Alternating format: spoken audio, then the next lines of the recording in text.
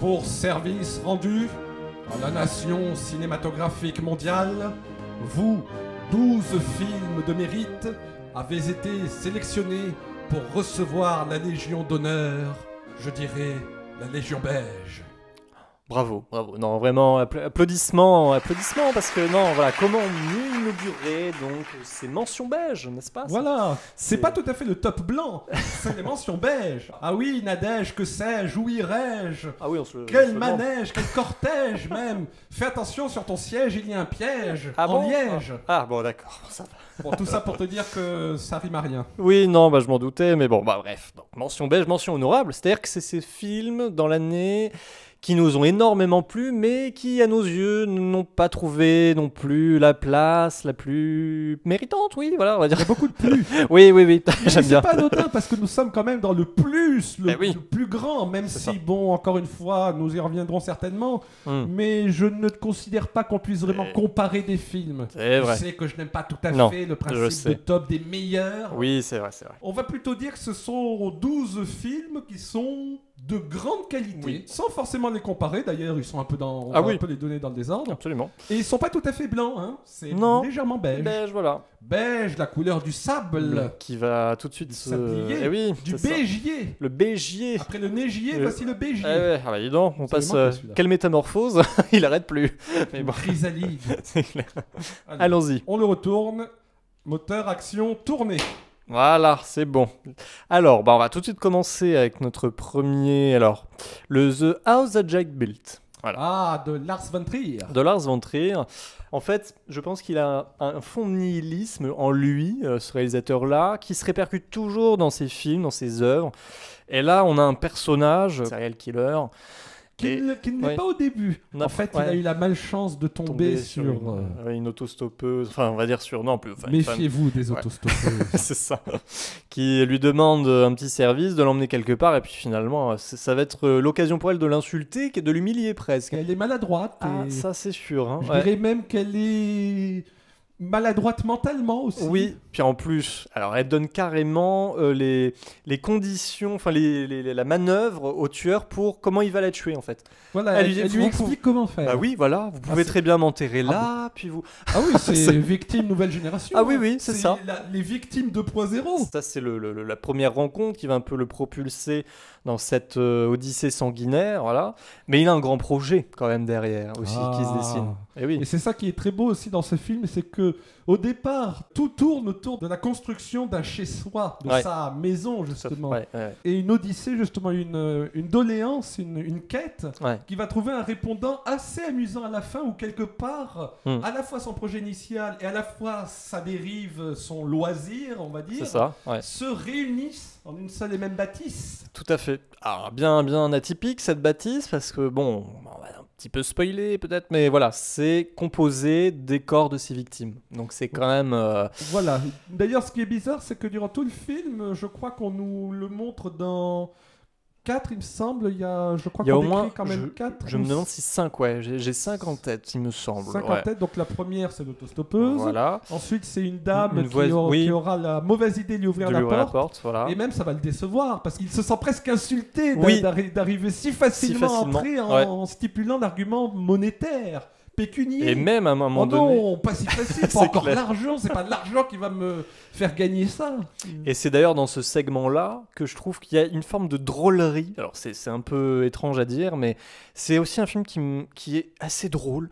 Parce que c'est on a un tueur en série qui est absolument maniaque de la propreté et qui du coup là dans ce, dans ce segment-là de, donc, de cette femme qui va lui ouvrir facilement sa porte, il va revenir plusieurs fois chez elle après l'avoir tuée parce qu'il se dit mais peut-être qu'il y a une goutte de sang qui traîne, peut-être que je dois... Et voilà, et Voilà, ça, et, et- et- et même au, risque de se faire de se faire, par, mais oui, euh, par parce qu'il entend les, les policiers et il se met même lui, en danger à cause de ça, parce qu'à un moment donné, ils, ils sont vraiment devant la maison et il, il pense encore devoir y retourner à l'intérieur parce qu'il n'est pas sûr que. D'ailleurs, la mise en scène, elle est bien faite. Quand, on, quand il est revenu dans sa camionnette, on Ouais. voit des flashs où on il revoit le, de- Oui, mentalement les- certaines pièces avec les fameuses preuves qu'en plus ce qui est amusant euh, lors de ce second Oui. crime, c'est que au- début, il va essayer d'étrangler donc la dame Ouais. en question, Ah oui, mais très vite, il va vouloir essayer de la soigner, la sauver. tout à fait. Il lui met un oreiller sous la tête. Enfin, Euh, c'est clair. C'est vraiment. Tu te dis il bah. à, prêter- Ouais. à appeler la police comme Mm. s'il se sentait dépassé même lui-même par Ouais. ses propres pulsions. Et oui, et c'est ce qui est très fort, c'est tout ce rapport euh, à ces crimes, mais en rapport avec l'art. Et je trouve que et Et il y a, la femme aussi, parce que justement, ce que je disais Mm. tout à l'heure, oui, c'est que et la femme aussi, oui, oui, c'est un- pratiquement seulement des femmes qu'on Quasiment, voit vrai, vouloir ouais. éliminer, oui, oui. alors qu'il s'avérera que non. hein. Et voilà, ce rapport à l'art, moi, m'a beaucoup intéressé parce que finalement, on a vraiment la vision d'un d'un tueur artiste qui envisage la mise à, à mort comme une sorte d'accomplissement, euh, voilà, d'un un chef-d'œuvre, quoi. Il y a un côté comme Alors je ça. sais pas si c'est la mise à mort elle-même ou, ou, du- ou le trophée qui en Le résulte. trophée, oui. C'est euh, parce que Mm. c'est- ap- en fait il utilise les cadavres comme un, ma- un matériau. Ouais. Mais est-ce que c'est la mise à mort elle-même qui est le véri- la véritable œuvre d'art ou ce qu'il va faire de C'est vrai que c'est plus de- le trophée, mais même il y a une forme de rituel dans des fois, euh, je pense à la, à- au troisième meurtre avec toute une famille qui le fusille. Alors, on a l'impression qu'il a mis tout en place, un système, comme Ouais. un tableau presque aussi. euh, Voilà, mais ça c'est pour le résultat. Et pour le résultat, oui, pour le résultat aussi, Même c'est vrai. s'il suit une méthodologie assez précise, hein, Oui. toujours commencer par le plus jeune en allant vers la Ouais, plus âgée. Ouais, tout à fait. ouais. c'est- Comme il le dit, il y a toujours ces parallèles qui, moi, qui au début, pour moi, ont très bien fonctionné. Ces parallèles, ces sortes de, de digressions un peu euh, Voilà, on sort métaphoriques. complètement de, Voilà. l'histoire, on change même d'esthétique visuelle. Ah, hein, complètement. un midi documentaire avec des, Ouais. des croquis, des exposés, des... C'est vrai, oui, oui, c'est assez. Alors, moi, ça, ça a commencé à me déranger lorsque. Euh, il y a, en fait, cet alter ego, enfin, c'est pas un alter ego, mais une sorte de, de personnage qui s'appelle Verge, je crois. Qui, Oh, appelons-le Caron, Voilà, Caron, parce que c'est absolument euh, la même chose. le passeur. le passeur, et qui effectivement, il y a une sorte de, de discussion philosophique sur l'art, la mort, l'amour, enfin tout un tas de choses. Et, euh, et moi je trouve que ça, au bout d'un moment, ça alourdit énormément le discours. J'ai l'impression que c'est aussi trop appuyé, c'est-à-dire que je vois un peu trop la, la pensée euh, de, de Lars von Trier dans ces dialogues-là. On a l'impression que c'est ça part de, de grandes tirades, euh, une grande. Voilà, et, et il imagine l'argument Ouais. correspondant, l'argument inverse, qui quelque part c'est un peu habile, que ça le dédouane. Ouais. Disons que son discours euh, en devient moins extrême. Et il y a quand même cette fin, hein, Ah, crois que- Dante aurait été fier. Ouais, ouais, ouais, vraiment. euh, c'est là, là, on peut parler vraiment de tableau. on peut vraiment. Voilà. Bah, D'ailleurs, il y en a Oui, même, y a y a, y même oui. une reconstitution de, plusieurs tableaux, Oui. notamment le- sur le Euh, radeau. Là. Alors, c'est pas le radeau non, Méduse, mais ah, je l'ai euh, plus en tête. Je, je sais plus si c'est pas un Delacroix ou un. Enfin, je sais plus. je crois que c'est. Euh, Mais ouais. ça- ça- c'est très visuel et aussi. euh, et, et aussi, ça, joue beaucoup sur le code couleur du noir et du rouge. Ah oui, oui. Lui qui s'est enfers, reconverti en euh, petit chaperon rouge. ouais, ouais. c'est vrai. Et, et jusqu'à l'image finale où, que, je trouve très très belle par rapport à la notion de lumière. Ouais. où, où quelque part euh, il illustre pourquoi dans la lumière se cache l'obscurité. Ouais, avec ce négatif, justement, comme il explique, c'est vrai que. Oui, oui, c'est. Oui, oui, c'est très. Voilà. Des... Visuellement c'est très beau et même de temps à autre on aurait presque un peu de compassion. Parfois on oublierait que c'est un sale type. Ce paysage des blés, tu sais, les champs de blé qui pour lui auraient été son propre paradis, mais bon, Ouais, ne peut voir C'est qu'à une très très la- belle image, ouais. la- la- à travers les carreaux fermés de.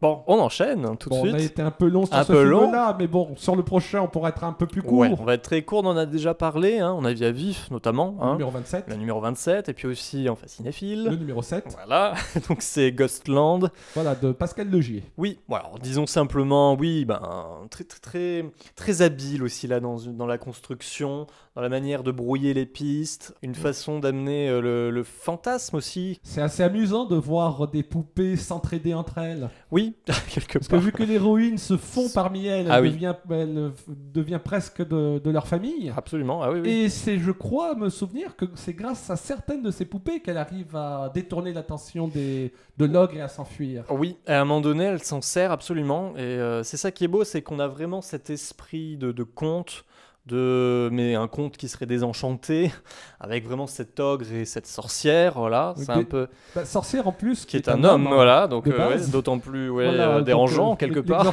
sait ce que ça a donné. hein, les, ça les femmes aux cheveux longs, bruns et à voix masculine. Voilà, donc ça pose déjà un cadre ouais, très, très bah oui, tordu quelque part. C'est vraiment comme on tord voilà, justement quelque chose de, de l'ordre du conte, de la naïveté, de l'innocence. Et, et puis aussi cette quête voilà, de, l'héroïne qui veut devenir un écrivain qui va se servir de, son- de cette expérience euh, douloureuse voilà, pour, pour finalement extraire son, enfin, son inspiration. Enfin, c'est ça qui est assez beau aussi. Voilà, c'est Ouais. comme, quoi hein, les, les poupées, finalement, ça leur donne une âme. Elles, Oui. elles auront contribué à la réussite de l'histoire. Et là, oui, l'air de rien. Alors, en parlant de poupées, euh, peut-être qu'il y en a un qui se fait un peu manipuler comme un pantin, lui aussi. euh. Oh, Là, nous entrons dans l'univers des poupées du futur. Eh oui, les robots. C'est ça. Et donc là, c'est Upgrade Upgrade ouais. de Lee Wanell. de Lee Whannell, qui avait alors collaboré lui avec euh, James Wan. Euh, alors James Wan qui a fait alors, tout récemment Aquaman par exemple, mais il est surtout connu dans le cinéma d'horreur pour avoir fait les sauts, enfin les, les- le premier en tout cas, et puis Insidious et Conjuring. Voilà. Et Lee Wanell a scénarisé lesquels? Et Lee Whannell, il a scénarisé, alors Saw, ça c'est une certitude, il en a scénarisé peut-être d'autres, euh, alors peut-être pas les Insidious et les Conjuring, mais il intervient souvent en, en binôme, on va dire, avec James Wan. D'accord. Et là, donc euh, c'est réellement, alors c'est son deuxième film, parce qu'il avait signé du coup en tant que réalisateur Insidious 3. Bon, bah alors Upgrade, hein, voilà, c'est l'histoire de cet homme qui euh, est un peu allergique justement aux, aux- aux technologies, c'est ça l'ironie de ce qui va lui arriver Voilà. aussi. Dans un monde futuriste. Voilà. Lui, il est vraiment avec sa voiture à bricoler à la main les choses là. Et finalement, bon, il va avoir un accident. hein, Sa femme ne va pas s'en sortir. Ils vont être agressés en fait. hein. Oui, parce qu'il va en perdre. euh, Les jambes, enfin tout, hein, la colonne. enfin, au, niveau, au niveau de la nuque, euh, il va y Ah avoir oui. une, une rupture euh, Ah oui, la fatale. totale. Ouais, c'est ça. D'ailleurs, c'est très beau, je trouve, avant euh, donc qu'il ne devienne cet homme biomécanique. on va... Euh, En fait, il y a vraiment, je trouve, euh, on le voit dans son fauteuil, on, on le voit complètement dépassé. euh, lui, lui qui était manuel, justement, on lui a retiré ça. Donc euh, c'est c'est un peu l'objectif de ce personnage-là, c'est de pouvoir euh, se mouvoir, c'est euh, agir part sur bel et bien l'environnement. un pantin qui aurait perdu la main de son marionnettiste. Exactement. Et marionnettiste qui se trouve être plutôt une connaissance, voire un ami, euh, j'ai l'impression quand même. Ouais, Voilà. Une relation en tout cas, euh, voilà. Qui est lui un, un ingénieur. Un jeune prodige, jeune apparemment prodige. à la tête d'une grande firme euh, Voilà. technologique. Tout à fait. Et du coup, il va lui proposer sa nouvelle invention. Une petite puce Voilà. qui contient un cerveau Oui, une Assez intelligence, euh, ouais, nommée. comment elle le nommait? STEM. STEM. Voilà. STEM, voilà, je l'ai. Ouais, ouais. Ce qui, du coup, lui parle, et c'est ça qui est assez ludique dans le film. Il y a un vrai. Il lui parle en simultané. Un vrai dialogue, un peu, un comme dans, les, un peu comme dans les âmes vagabondes. hein. Oui, pas ça. Quand on partage Ouais. une même boîte crânienne, hein, Ah oui, oui, c'est ça. on- Ouais. on- autant bien s'entendre entre voisins. Et oui, et là d'autant plus que s'ils s'entendent pas, euh, il peut effectivement euh, arrêter tout, toute sa, tout son corps. Quoi. Enfin, je veux dire, il peut redevenir un légume, quoi, en fait. le, le STEM, il est- donc il faut quand même pas trop le contrarier. C'est un peu ce cheminement-là où le héros va vouloir quand même bah, euh, se venger aussi du coup. voilà, de retrouver. Alors au les- départ, il avait, j'ai l'impression, plutôt envie d'oublier, de, de Oui, passer à autre chose. Et c'est STEM qui va le remettre qui face à, Ouais. face à ce- cette injustice non punie. Disons que ça finit quand même euh, de façon, euh, oui, assez cruelle. Mais voilà, on va pas plus en dire. Mais moi, j'ai adoré cette fin parce que justement, on parlait aussi de ce, ce- ce fantasme-là avec Gosland, réalité. Et justement, il y a, y cette perspective-là qui s'ouvre sur la fin où on sait plus tellement. Et lorsqu'on comprend que tout ça a été réel, bon, voilà. Tourne un peu autour du pot. hein, mais- parlons voilà. plutôt du début. Voilà. Un très beau générique d'entrée. Tu sais, quand on plonge dans le terrier numérique du lapin. Ah oui, oui, c'est vrai. Et je crois même Ouais. que le générique du début, il est entièrement sonore, il me semble. Oui, le film aussi ne nous épargne aucune violence, là par contre. C'est-à-dire qu'on a le personnage, ce qui est très beau, c'est que comme le personnage n'est pas, euh, pas en contrôle toujours de ce qu'il fait, il y a cette scène où à un moment donné, il, il- il violente euh, un des sbires, peut-être on imagine du méchant, de l'assassin principal, on va dire. Et euh, il regarde même pas le. Et, et en fait, sa main fait Oui, quelque chose. Juste. euh, Et on se rend compte que c'est une boucherie, en fait. Et il est d'autant plus frappé parce qu'il se dit Mais j'ai fait ça, moi j'ai...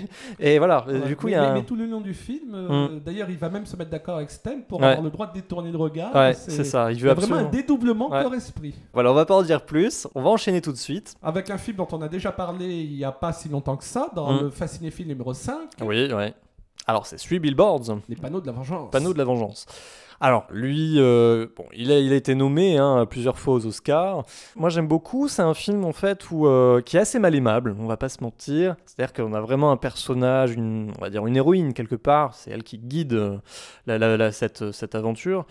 d'une mère donc, qui a perdu sa fille. Et, et finalement, elle en tient rigueur aussi à la police, qui n'a rien fait ou qui n'a pas fait suffisamment de recherches pour... pour, euh, parce que le corps a disparu, hein, il me semble. hein. Oui, je... Euh, je- c'est un peu plus flou, c'est en début d'année, excusez-nous, hein, mais, c'est- mais voilà. Donc c'est juste, c'est une histoire floue de base, une une- histoire ténébreuse. voilà. En tout cas, elle en veut à la police et elle va donc euh, se faire un peu Se la- manifester. se manifester, faire comment- sa loi. Comment on manifeste? Eh ben, Avec des panneaux. Voilà, qu'elle va et donc où elle va incriminer justement les, les policiers et, et du coup ça va être un peu ce cheminement d'une mère qui est prête à tout, euh, même des fois un peu au pire euh, quelque part, pour que la justice soit faite en fait. hein. c'est ni plus ni moins. Mais Enfin, sa justice à elle. à sa justice, oui. Même Et- si on va se rendre compte qu'elle n'y est pas pour rien dans leur euh, dégradation. Voilà, et c'est vrai que ce qui, ce qui fonctionne assez bien, c'est donc euh, le, le- le duo qu'elle va finalement former avec une sorte de, de- d'officier qui est, qui est un peu qui, qui est violent et pas très intelligent non plus, hein, on va pas se mentir. Futé. pas très futé. Et finalement, il y, a- il y a quelque chose qui vont se retrouver. Et moi, je trouve qu'à la fin, il y y y a quelque chose d'assez optimiste malgré tout, même si rien n'est totalement euh, dé- dénoué euh, voilà, dans Oui, l'affaire. on mais sent qu'il va se passer quelque chose d'assez grave après le panneau fin. hein. c'est vrai. Enfin voilà, c'est quand même un film dont on a déjà parlé, donc on va pas plus s'attarder, mais euh, à conseiller. Alors cette fois, maintenant la suite. eh oui. eh oui, eh oui. Mince, mon ventre gargouille. S'écoute. C'est- Faut, faut murmurer On murmure le titre alors. Vas-y. sans un bruit. Ah oui. Bon, allons-y. Eh oui, mais bon, on est obligé quand même. Eh oui, non, mais bon, tant pis, ça va, ils sont loin. On a, on a de la marge. Non, mais c'est ce qu'on croit, mais le son, tu sais, ça se déplace vite et Ça se loin déplace aussi. vite. alors, sans un bruit, film un peu événement qui a fait énormément de bruit, c'est sûr. Et donc, c'est alors l'histoire d'une famille euh, qui vit euh, un peu en campagne, un peu isolée. Dans un monde très très très légèrement futuriste, on sent Oui. qu'il y a une petite apocalypse dans le coin. Voilà, on sent qu'il n'y a plus beaucoup d'êtres euh, vivants tout court en fait hein, dans le coin. Mais que ça date pas de longtemps, parce que les magasins Non. sont encore bien remplis, bien Voilà. fournis. Et euh, on comprend bien vite que en fait, euh, bah, il y a des créatures qui rôdent alentour et qu'elles se repèrent, qu'elles repèrent leur, euh, leur cible potentielle au bruit. Voilà. Et qu'elles ont une oreille Très très, développée. efficace. Ah oui. Mais d'ailleurs, c'est ça que j'apprécie beaucoup, c'est que malgré cette approche un peu fantastique sur les bords, ça se veut quand même très scientifique, très explicable. Notamment, j'aime beaucoup le travail qui est fait euh, autour du visuel de ces oreilles, où on a la sensation que ça a été étudié, que par la forme des oreilles, etc., qu'ils ont, que, que, que même le réalisateur ou le concepteur. Ouais, tout à fait. s'est intéressé à comment fonctionne le bruit, Ouais. euh, et comment le pavillon de l'oreille gère à aide à ce que ce soit mieux Ah. perçu, etc. Après, on pourrait toujours un peu pinailler peut-être sur la cohérence interne du, dans le monde, dans ce monde-là, même si je trouve que ça tient plutôt bien la route. Il n'y a pas, pas, franchement, tout. Voilà, moi, il n'y a rien qui ne m'a sorti complètement de l'intrigue au point de me dire, ouais, non, mais ça, pourquoi, pour comment? Ça va à peu près, c'est vrai que c'est assez bien Bah, construit. c'est, presque surtout un huis clos, donc il n'y a pas Mm. vraiment de possibilité pour avancer des, Et oui. des, des éléments de scénario incongrus. Non, c'est vrai que ça resserre sur cette famille. Moi, je trouve qu'il y a une très belle humanité dans cette famille. Tous sont un peu. euh, la- la- il y a, par exemple, la sœur qui est atteinte justement aussi d'une surdité. Et finalement, il y a un parallèle, tout ça, le père qui lui, lui fait une sorte d'appareil aussi pour elle. Euh, la- c'est un peu justement le- Mm. cet appareil-là qui va avoir un rôle. un rôle aussi décisif, hein, oui, oui, absolument. C'est, Mais- bien de voir comment tout euh, tourne autour de Louis. de Louis, parce que même la mère finalement qui à un moment donné va devoir accoucher, bah, la, la problématique du bruit, euh, là, elle est, elle est quand même aussi... euh, Bon, ça va, ça va. si jamais elle, elle se plantait le pied dans un clou, Oui, bien. voilà, c'est bon. ça. Et puis il y a ce côté soudé, tout le monde est soudé malgré quand même un prologue qui est assez euh, inattendu. Euh, bon, le, le petit frère, le, le plus petit frère de la, f- de la famille qui ne s'en sort pas, voilà, c'est dès le début. Donc déjà, Ben, ça pose un... En, en plus, il, a, il, il- il représentera plus ou moins le traumatisme de la sœur euh, Oui. sourde. Et même, il y a toute une sorte de, du coup, de cycle de la culpabilité, en fait, dans cette famille qui est assez beau. Et c'est comment ils vont, malgré tout, avec aussi certains sacrifices, malheureusement, comment ils vont réussir à se ressouder. Je trouve ça assez beau. Il y a cette qualité humaine, en fait, dans, le, dans ce jeu, qui- qu'on ne voit pas souvent dans ce genre de film. Une- Et, et- et- et une, une qualité humaine qui touche aussi les personnages, alors je- là je dirais même pas secondaire ni tertiaire, mais Hmm. quaternaire. Rappelle-toi Ouais. ce, ce vieil homme qu'on Oui. croise très légèrement. On le voit très très peu, Hmm. mais je trouve, alors peut-être que humain n'est pas le mot le mieux choisi, mais je trouve qu'il y a quelque chose de, de très vrai. Beaucoup de choses peuvent être émouvantes, même celles qui sont le plus en fond. C'est vrai. Oui, oui, non. À conseiller, hein, là, vraiment.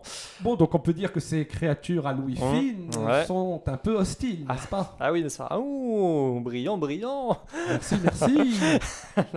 Bon, bah donc, vous l'aurez compris, hostile, voilà. Voilà, avec euh, ce cher Christian Bale, Absolument. aux moustaches bien fournies, Dans un western pur jus, hein, voilà. réalisé par? Scott Cooper. J'ai vu certains de ses films, mais c'est vrai que, bon, alors là, c'est po- possiblement son meilleur, à mon goût.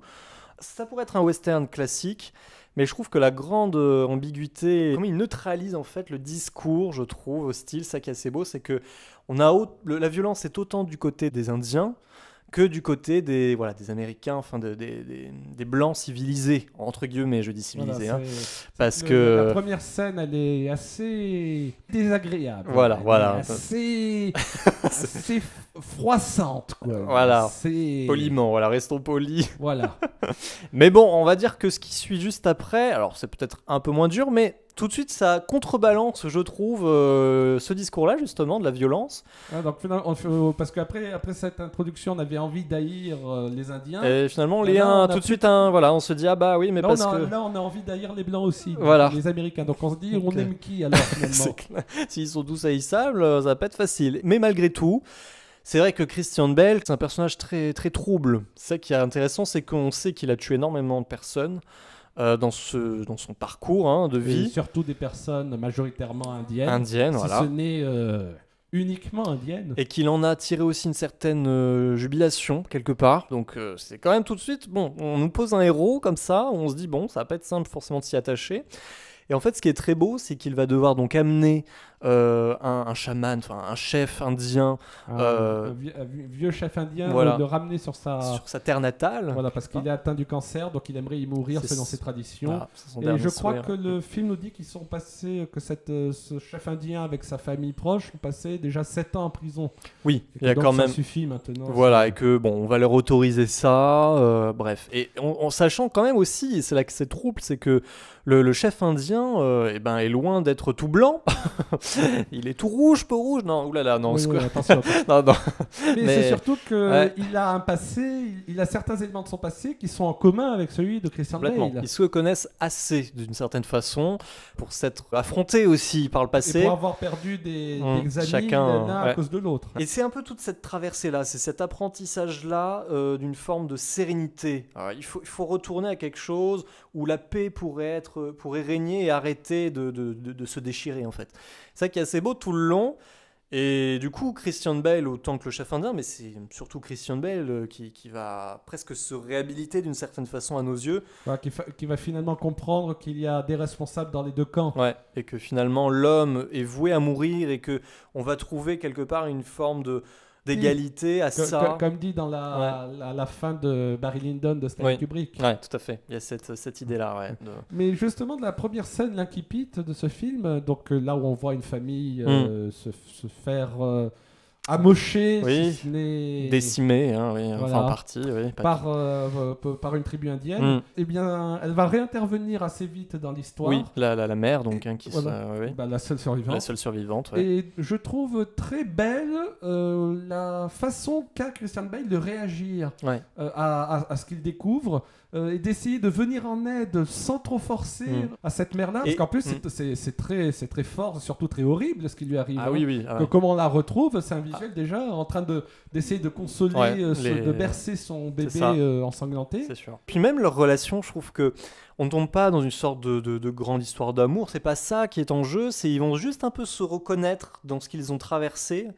Et, euh, et à la fin, je trouve que c'est vraiment cette scène de fin où elle, elle part avec un, un jeune Indien dans le train. Et, et lui, on se demande, mais et donc, qu'est-ce que tu décides de faire? Tu les parce que suis, tu restes à Parce quai qu'il faut dire que c'était sa dernière mission avant la Oui. retraite. C'est ça. Et finalement, ce qu'il décide de faire est très beau, je trouve, et on a vraiment ce message d'espoir à la fin qui, qui fait qu'on est soulagé de tout ce qu'on a enduré. Quoi, aussi. Et puis, et puis un message de famille reconstituée. Malgré tous- toutes ces dissensions, toute cette euh, haine, toute cette hargne, ben, on termine quand même avec une famille euh, qui n'est pas fait. déterminée par le sang. Enfin bref, très très beau film. Alors, Alors, alors on continue un peu à s'apaiser parce qu'on avait commencé assez, euh, hmm, assez sévèrement. hein, voilà, assez ouais, ouais, là on va commencer. là, on va parler d'un film qui fait mention de feuilles de papier pentagonales. D'accord, très bien. Je vois, euh, donc ça serait Pentagon Papers, Bravo déduction, eh oui. Le 33e film de Steven Spielberg. Oui, bon, on ne les compte plus, mais bon, oui, c'est bien de le dire, 33e quand même. Oui, bah alors, ce qui, ce qui est intéressant avec ce film-là, c'est qu'il a été fait, il faut le dire, euh, entre deux films. Bah, C'est-à-dire bah, que, pendant voilà, la, pendant voilà. la post-production de Ready Player One. C'est ça, il se dit, bon, on a, j'ai un peu de temps devant moi, on va faire un, un petit film, hein, quelque chose qui sera facile à tourner Ouais, rapidement. Bon, pas grand chose. Non. Une feuille de papier pentagonale. C'est ça, après tout.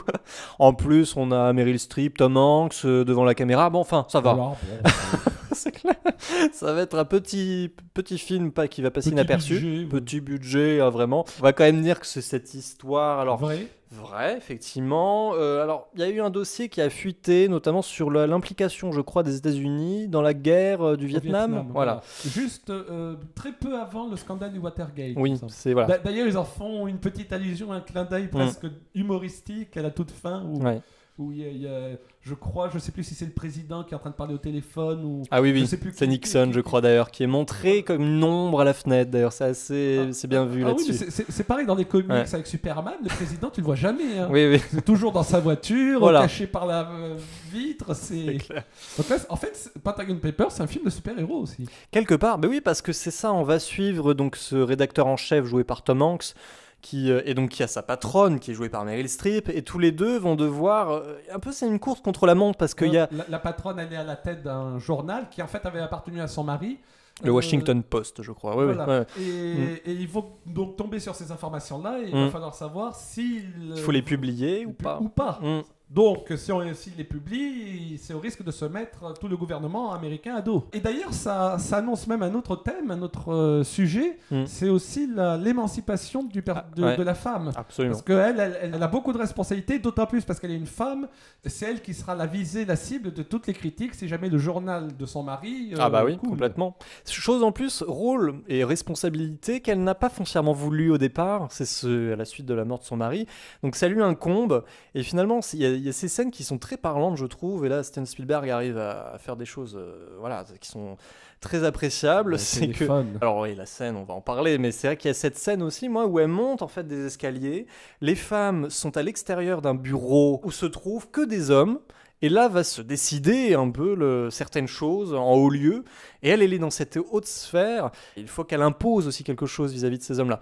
Et effectivement, lorsque la décision ultime va lui revenir, de publier ou pas, dans une scène téléphonique absolument fascinante. Voilà, Enfin, en fait, c'est une scène entièrement hors champ, d'une certaine façon. Ouais. Enfin, c'est dans le champ, mais je veux dire, le- l'enjeu de toutes les rencontres, de Hmm. toutes les questions est complètement hors champ. avec ce plan en plongée absolue sur elle qui, qui tourne autour d'elle, où finalement ça l'écrase. On se dit, bah maintenant il faut que tu prennes ta décision, t'as pas le choix. C'est vraiment. C'est ça. Belle mise en scène Ouais. en plus quand la décision est prise, notamment le- les journaux qui s'empilent, Mm. etc. C'est tout à fait en plus le visuel qui m'avait manqué, cruellement manqué dans l'Inquipide de Big Eyes Ouais. de Tim Burton. Tu sais Mm. où il m'avait manqué cette surabondance, tu vois, cette accumulation de papier que, qui sort- euh, sortant de la photocopieuse ou Mm. de l'imprimante et qui s'empile et s'empile et s'empile et s'entasse et se met à noyer toute l'image. Alors bon, très bien.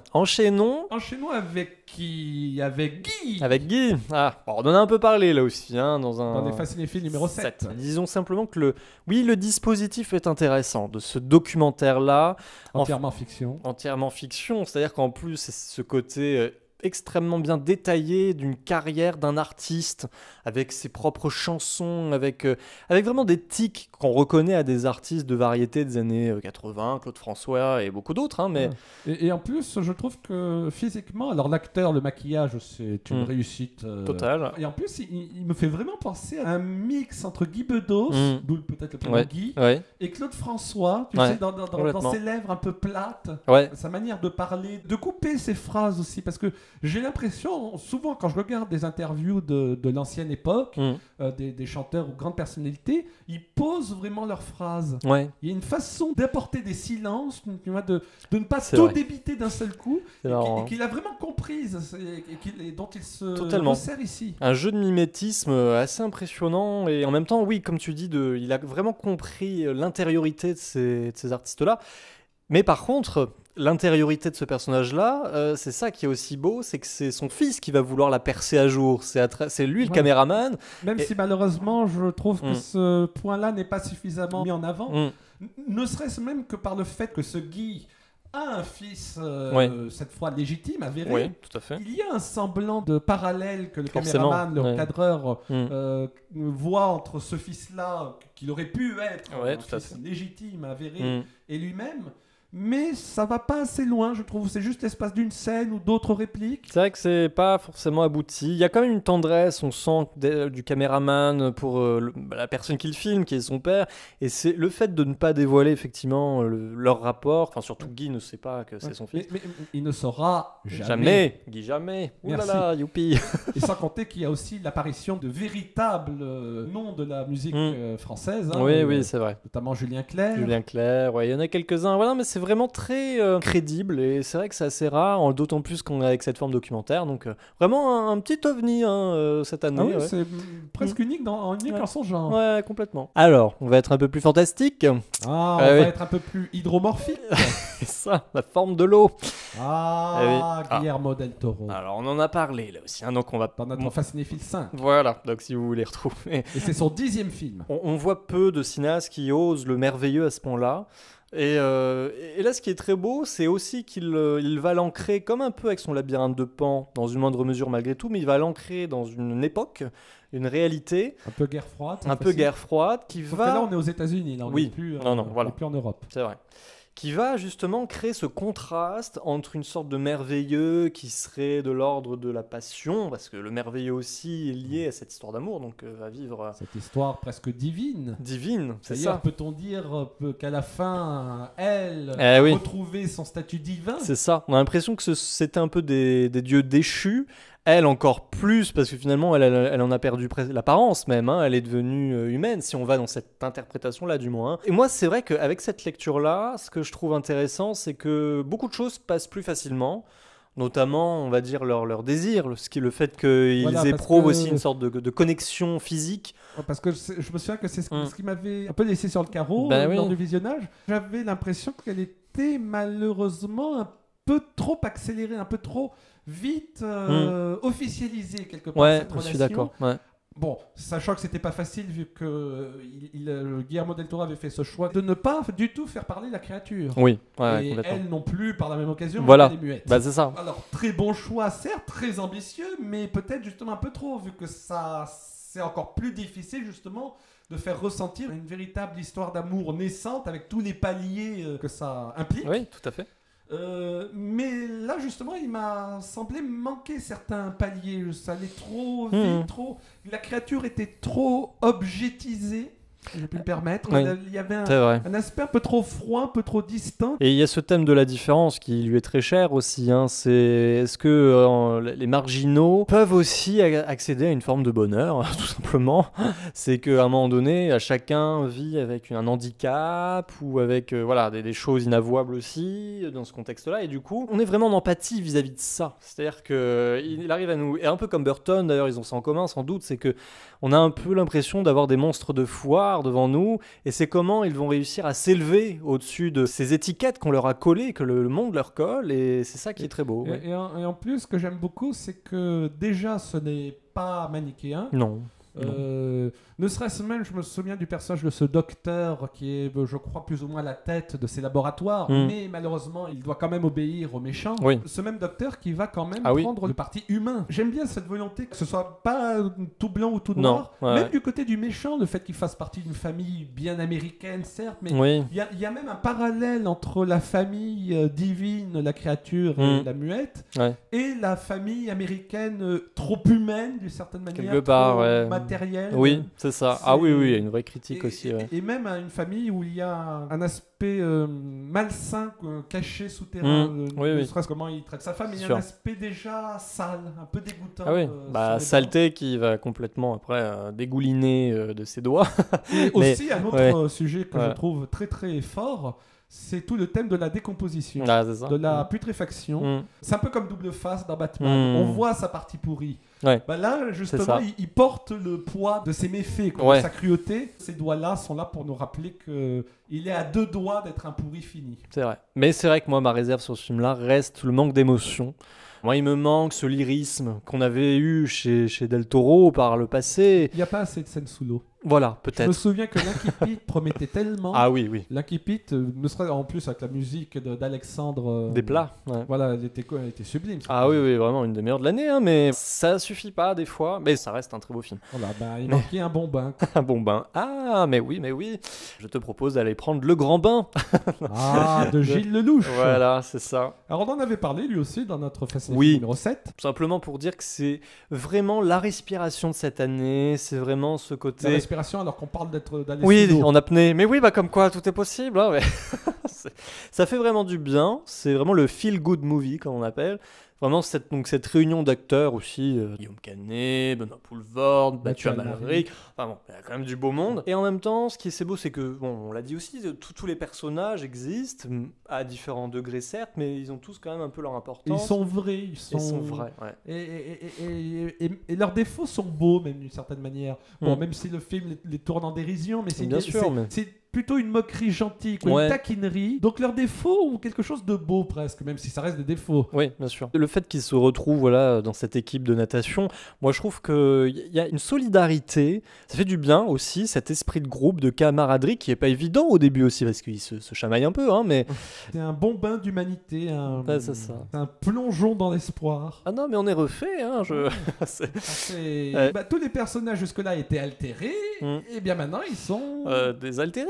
Bravo Et c'est un peu comme une famille aussi. Hein. Oh, bien joué Ah oui, bah oui. Bien joué Bah oui. Bien joué Ça, oui. c'est ça, c'est un beau plongeon pour euh, une affaire de famille. Ah voilà. Donc, Eh oui. Palme d'or en plus Quand du même. Festival de Cannes de cette année. C'est pas rien. Alors moi, je, je dirais, ça n'a pas été évident pour moi de d'aimer ce film, en tout cas dans sa première heure. J'ai un peu souffert. C'est un rythme un peu particulier, on va dire, où euh, il se passe pas grand-chose. Hein. C'est-à-dire qu'on voit cette famille, chacun va et vient à ses activités, ce qui est quand même assez mystérieux dès le début par contre, et c'est ce qui tient un peu en haleine, si on peut dire. C'est- Quels sont leurs liens Ben oui. parenté Voilà, parce qu'on tout semble un peu couler de source, et en même temps, il y a des choses qui sont glissées de temps en temps. On se dit, mais est-ce que ce serait vraiment sa sœur? Est-ce que ce serait vraiment son père? Est-ce que et, et- et voilà, et tout ça trouve une réponse absolument sublime d'une certaine façon à la fin. C'est ce qui, pour moi, me fait vraiment reconsidérer mon avis après sur le film, parce que c'est vrai que ça a été un peu compliqué au début. Mais euh, cette fin-là pose une question d'éthique, de morale euh, assez passionnante. Ouais. Ah bah, Ouais. un peu le même genre de question qu'avait déjà posé Pascal Logier dans Oui. un de ses précédents films. hein. The. Secret. Secret. C'est un peu le même genre. Ouais, ouais. Et, et en plus, c'est amusant parce que le film joue sur notre perception. On voit une femme âgée qui, qui habite dans la Mm. même maison qu'un couple. Ouais. Il y a aussi une euh, fille beaucoup plus jeune, une adolescente, un garçon qui devrait avoir autour de 10 ans. Donc, on- qu'est-ce qu'on se dit au premier abord? C'est Mm. une famille. Bah oui, c'est ça. C'est un peu de la malhonnêteté dans le sens euh, mensonge par omission. c'est ça. On ne nous dit pas qui ils sont, mais euh, pour autant, on ne vous ment pas. hein. Euh, ils sont ce qu'ils semblent être. Bah non, ils ne sont pas ce qu'ils semblent être. Et du coup, je trouve que ça, ça ancre le film à la fin dans un côté beaucoup plus noir, forcément. Mais et en même temps, c'est pas pour autant qu'on va d'un coup condamner ce qui a été fait. Oui, C'est- ça qui est assez- Personnellement, je condamne au- au- certainement pas. Mais, Euh, effectivement- Parce que, euh, ne serait-ce même que pour le personnage de la jeune fille, Mm. euh, ils l'ont quand même sauvée d'une enfance où elle aurait été Ouais. battue par ses Ouais, parents. ouais, ah oui, oui. Et pas très aimée non plus. hein. Non. Mm. Et d'ailleurs, ce qui m'a manqué, même si c'est là, mais peut-être que ça m'a ça m'a manqué d'être un peu plus explicite, que tous ces anciens membres de cette famille se débattent davantage. Pratiquement personne se débat à la fin. Ouais. Ils acceptent tous ça. Et même si le film nous dit que pour eux, il y a quelque chose de très beau qui est passé, Oui. bah, je sais pas, j'aurais peut-être préféré que ce soit plus officiel, que ce soit Mm. plus explicite. Donc en fait, tout ça, soit les a vraiment séparés pour de bon, ou peut-être finalement va les reconsolider au bout du compte. Donc je trouve qu'il y a quelque chose, une ambiguïté jusqu'à la fin sur le l'avenir qui leur est réservé à cette famille-là. C'est une fin digne de. Tu sais, ce genre de twist. Où est-ce que Mm. j'ai déjà vu un twist pareil? Ah oui, le fameux twist Je ne suis pas ton père ah bah voilà, c'est vrai. Oh là, là, on est dévasté. Ah oui, ah, non, c'est clair.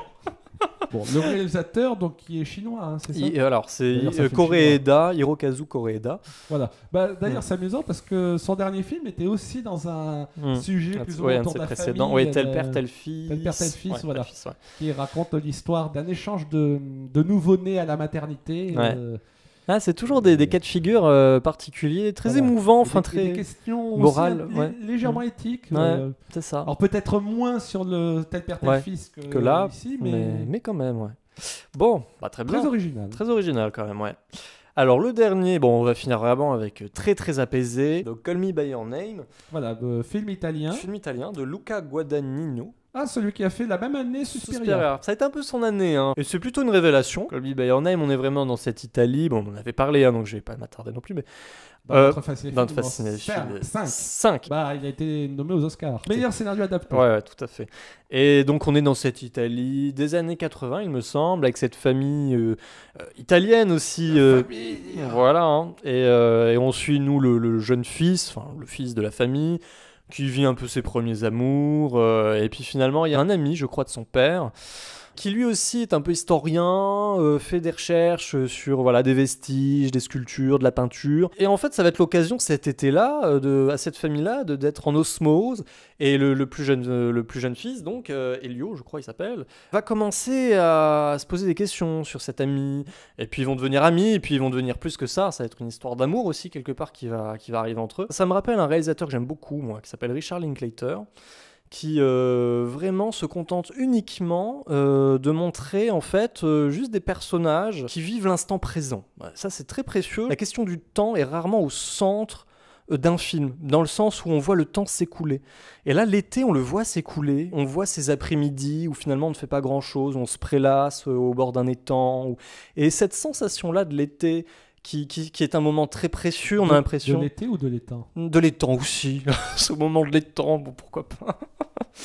voilà, on a, on a l'impression que c'est une sorte de parenthèse suspendue, comme ça, qu'il il faut en profiter au maximum parce que ça va pas durer. Et c'est ça aussi le tragique de ce film-là, c'est que ça va pas durer et que tout ce que va vivre le personnage principal euh, va va à un moment donné prendre fin. Et du coup, on ressort cette fin qui est assez fantastique, ce sorte de plan sur son visage où toutes les émotions arrivent, la détresse, et puis en même temps le fait qu'il faut bah, re- continuer à vivre malgré tout. Enfin, c'est vraiment sur le- l'âge adolescent, voilà, sur le fait qu'on se construit à cet âge-là, mais que finalement, euh, bah, il faut, faut passer à autre chose aussi.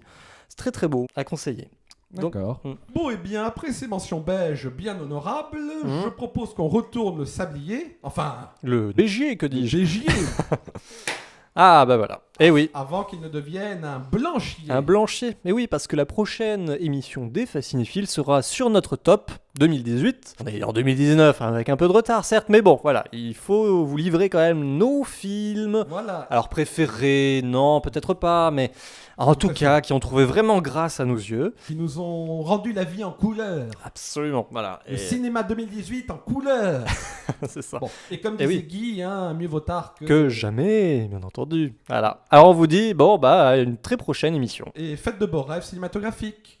En beige.